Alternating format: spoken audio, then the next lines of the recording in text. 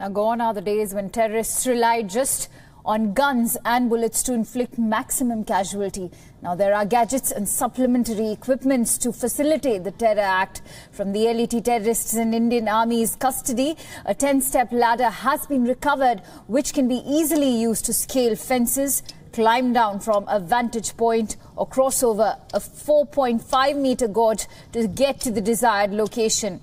And the catch of this ladder is that it can be folded into a two feet luggage. और close करो